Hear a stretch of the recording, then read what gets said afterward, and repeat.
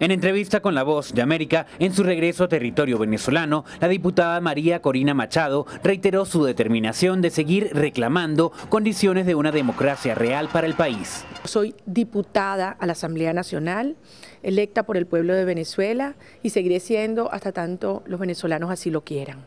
Tengo todos mis derechos y garantías constitucionales intactas.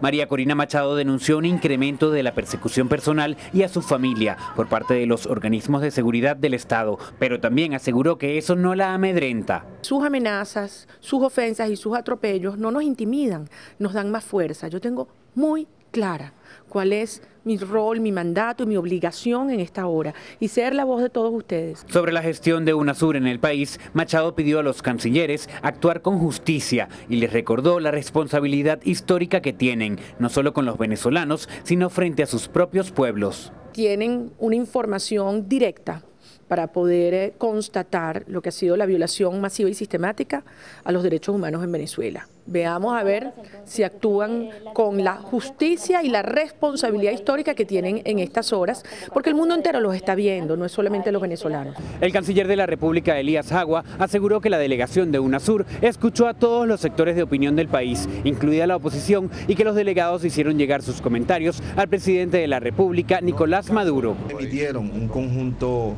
de recomendaciones que el presidente acogió plenamente cada una de las que fueron recomendadas por los cancilleres. Más allá de la gestión de UNASUR, la oposición del país convocó este sábado una gran marcha nacional en la capital con el fin de insistir en la exigencia de liberación de todos los detenidos durante las manifestaciones del último mes. Desde Caracas, Venezuela para la Voz de América, Álvaro Algarra.